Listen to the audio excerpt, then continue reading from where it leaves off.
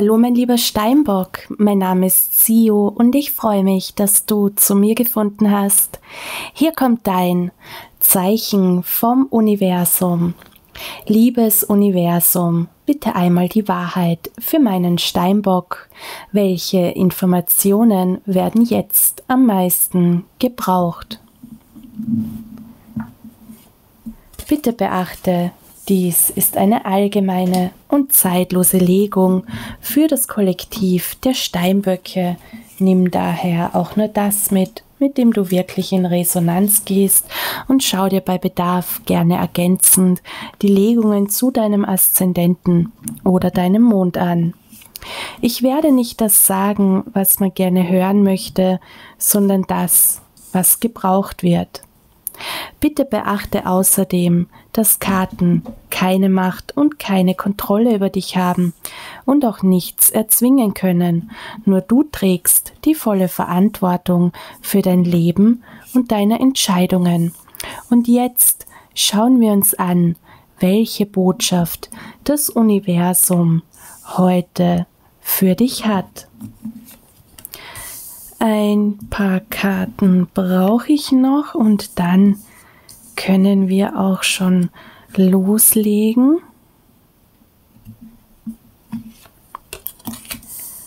Okay.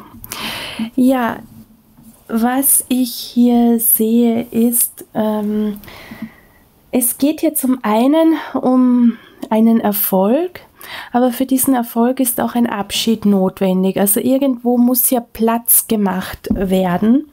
Es kann jetzt aber auch sein, dass du das Gefühl hast, dass ein, eine Erfolgsphase dabei ist, vorbeizugehen. Aber das ist eine Illusion, mein lieber Steinbock.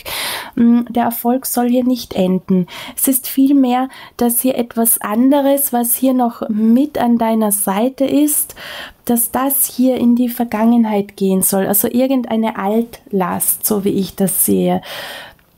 Was jetzt hier hineinwirkt, ist auch, dass du hier ähm, den ein oder anderen unangenehmen Gedanken hast, ähm, dass deine Gedanken hier um Angelegenheiten kreisen, die nicht so angenehm sind.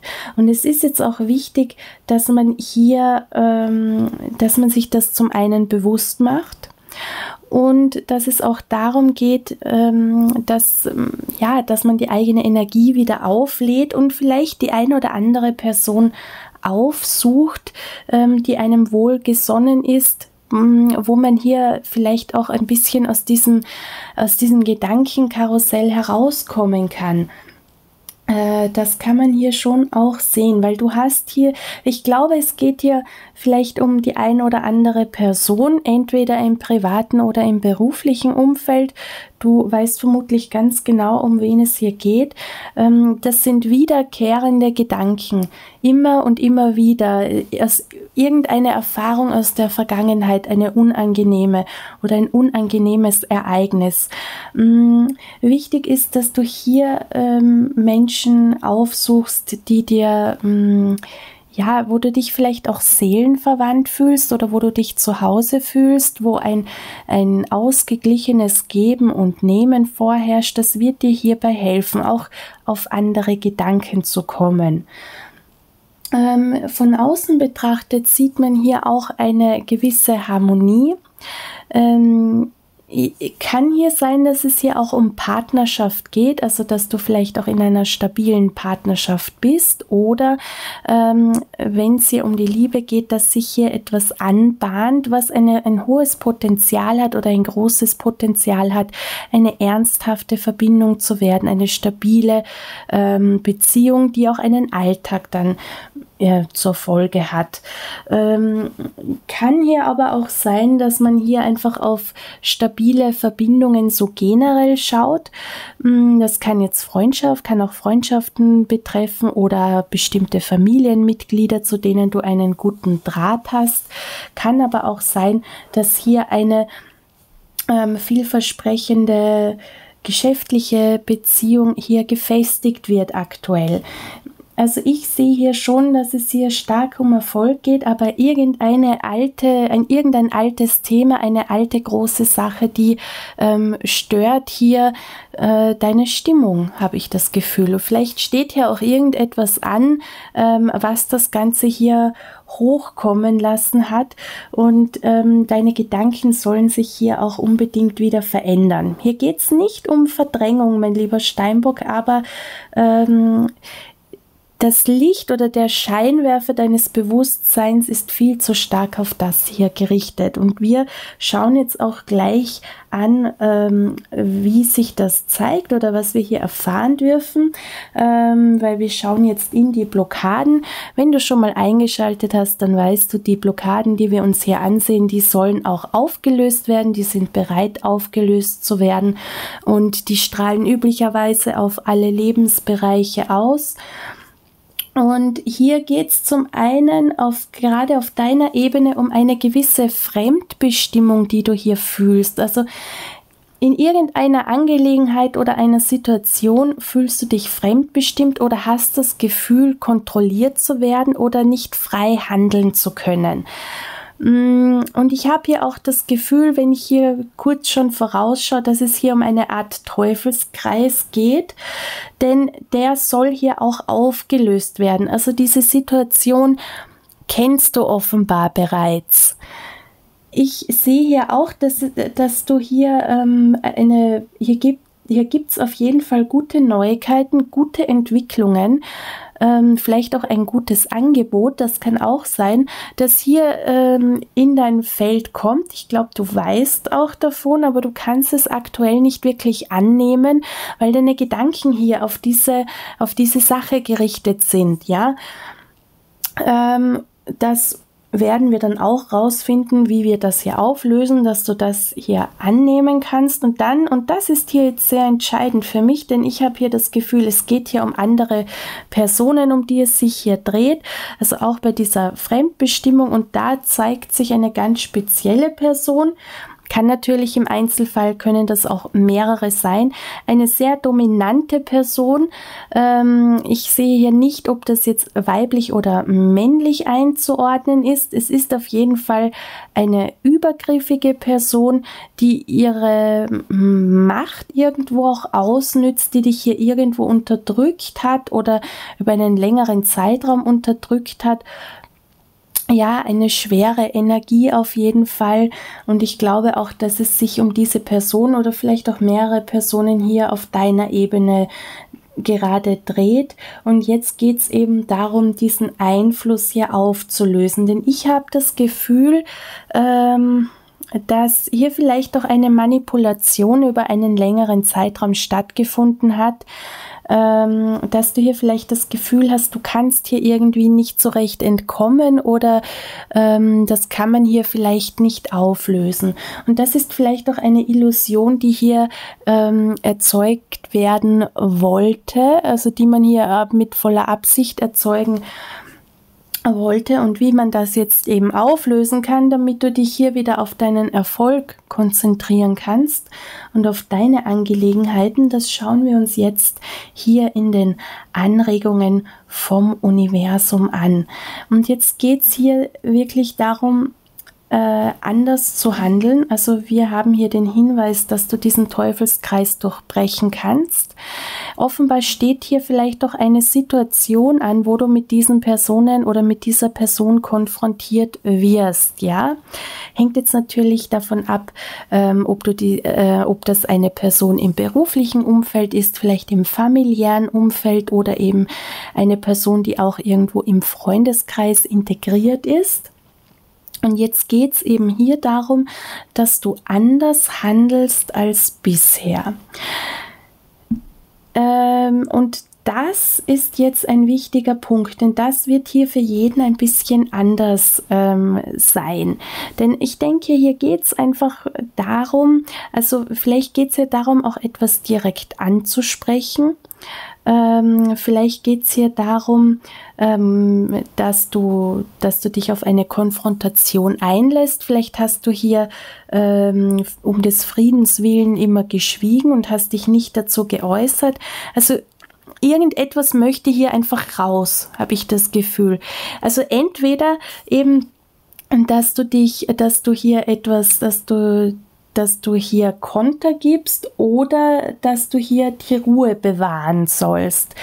Ähm, wichtig ist, dass du vertrauliche Informationen für dich behältst, auch wenn es hier um Familie geht oder um Freunde. Ja, weil es könnte sein, dass hier jemand etwas herauskitzeln möchte aus dir, um, um das dann vielleicht gegen dich zu verwenden. Das ist auf jeden Fall schon mal wichtig, aber es könnte hier sein, vielleicht auch, dass du hier Gegenfragen stellst, dass du hier hier ähm, das Gespräch ähm, leitest oder führst und du dementsprechend Gegenfragen stellst oder hier konkrete Fragen stellst, das kann hier sehr gut funktionieren.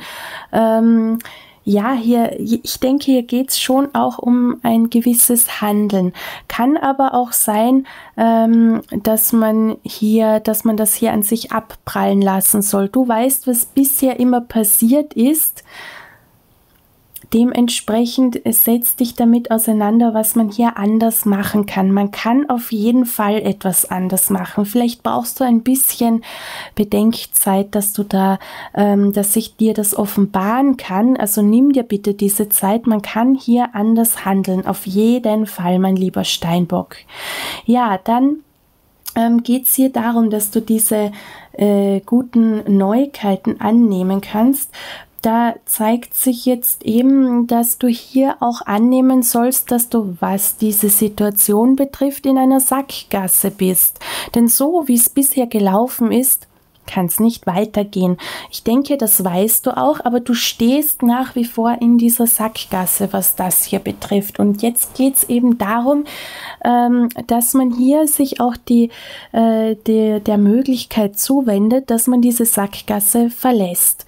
Das bedeutet, je nachdem, wie diese Person oder diese Personen ähm, zu dir stehen oder wie man sich hier begegnet, kann es jetzt darum gehen, dass man diese Verbindung bewusst löst, also dass man sich damit auseinandersetzt, dass man hier einfach nicht mehr in einer Gemeinschaft ist oder auch nicht mehr zusammengehört oder dass man diese Beziehung transformiert.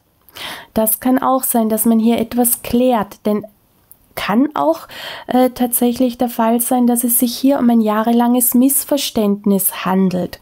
Also irgendetwas muss hier auf jeden Fall geklärt werden und der ausschlaggebende oder der wichtige Punkt bei dieser Angelegenheit ist, dass du für dich klar erkennst, dass so wie das jetzt ist, dass das keine Zukunft hat und dass du hier auch nicht bleiben möchtest, dass du diese verfahrene Situation hier verlassen möchtest. Das ist ganz, ganz wichtig und gibt dir dann auch den Blick frei auf diese guten Entwicklungen, wird hier für viel Erleichterung sorgen. Ähm, und äh, was ich hier auch noch sehe, was das Umfeld betrifft, hier sehe ich eine ruhige Haltung. Also es geht hier darum, dass alles, was hier in deine Richtung kommt, ähm, dass du hier irgendwie ähm, ja so in die Richtung wie, wie Teflon könnte man jetzt als Metapher verwenden, reagieren sollst, dass das an dir abprallt. Also du sollst hier äh, eine Art Pokerface bewahren und dich hier nicht aus der Ruhe bringen lassen, egal ob du jetzt hier Themen ansprichst oder eben nicht, ja. Also du kannst auf jeden Fall darauf reagieren. Wichtig ist, dass du hier ähm, bei dir bleibst, vor allem auch wenn du hier, wenn es hier darum geht zu erkennen, dass diese Person oder diese Personen, die sich hier zeigen, ähm, vielleicht auch gar nicht mehr zu deinem Alltag gehören oder auch gar nicht Teil deiner Zukunft sind. Das kann auch sein. Also ich, ich weiß es nicht. Also es ist wichtig, diese Sackgasse auf jeden Fall zu erkennen. Das wird hier irgendwie oder sich diese Sackgasse bewusst zu machen, denn das wird hier einiges in Bewegung bringen, auch wie du anders handeln kannst.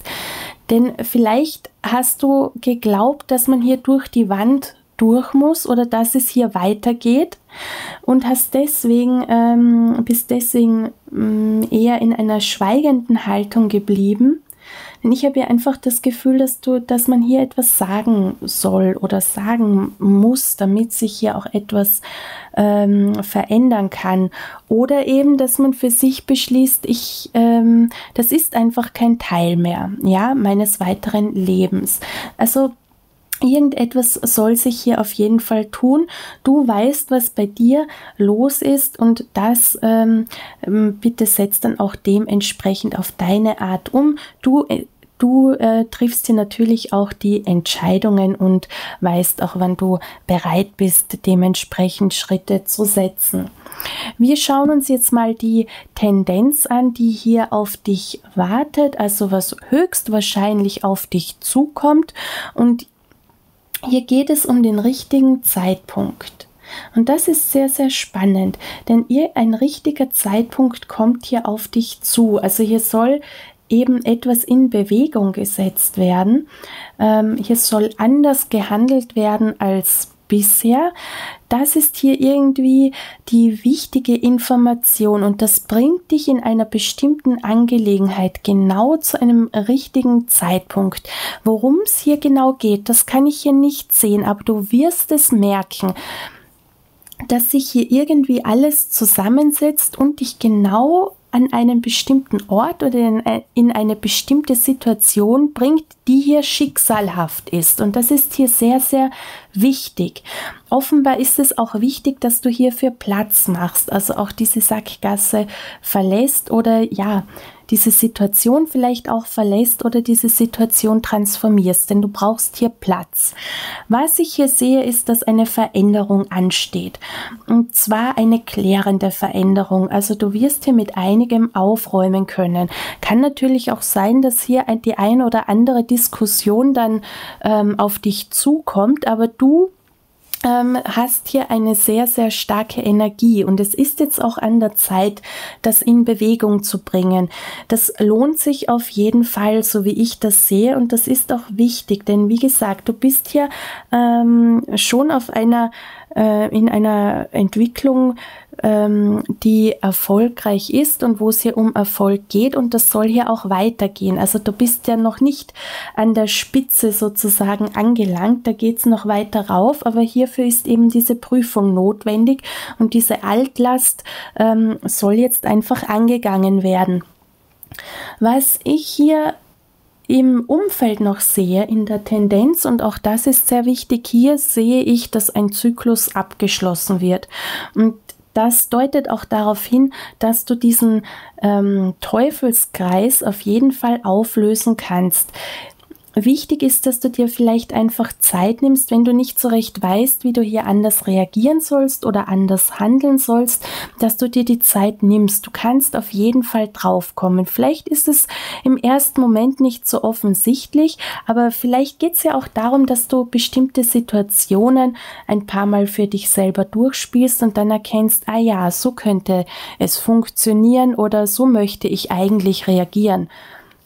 Ähm, hier geht es viel mehr um dich als um die anderen, habe ich so das Gefühl. Und dann kannst du hier wirklich schön mit dieser alten ähm, Angelegenheit abschließen und hast dann hier auch Platz für Neues. Und das ist eben auch so wichtig, denn parallel ergibt sich dann hier irgendeine schicksalhafte Situation für dich und das ist eine positive Situation. Das kann ich dir auf jeden Fall auch sagen, mein lieber Steinbock. Ja, wir kommen jetzt zum Abschlussritual und wenn du mit dieser Legung in Resonanz gegangen bist, dann freue ich mich wirklich sehr über dein Like oder einen Kommentar. Denke auch daran, meinen Kanal zu abonnieren, wenn du das noch nicht gemacht hast und aktiviere auch gerne die Glocke, wenn du benachrichtigt werden möchtest, wenn ich neue Legungen veröffentliche. Ich meinerseits wünsche dir von Herzen nur das Allerbeste. Ich glaube an dich, glaub an dich. Möge sich der Knoten lösen. Vielen Dank für dein Vertrauen.